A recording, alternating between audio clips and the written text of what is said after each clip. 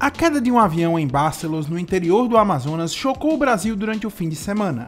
A tragédia, que teve 14 vítimas fatais, já é considerada o acidente aéreo que mais registrou mortes no país desde 2011.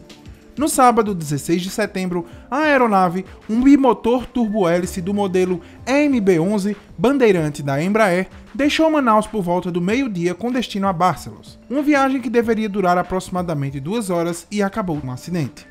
As causas ainda estão sendo investigadas, no entanto, chovia forte na cidade durante o acidente e o fornecimento de energia elétrica na cidade enfrentava instabilidade durante o momento do pouso, o que pode ter contribuído para a queda. Doze dos mortos eram passageiros e estavam indo até a cidade para praticar pesca esportiva.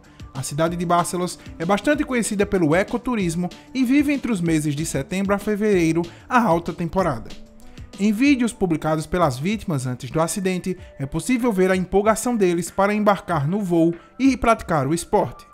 O Serviço Regional de Investigação e Prevenção a Acidentes Aeronáuticos e a Polícia Civil do Amazonas investigam o caso. É uma verdadeira tragédia. Curte nosso vídeo, comenta e compartilha. Se inscreve no canal se você gosta de acompanhar conteúdos como esse e ativa o sininho para receber as notificações.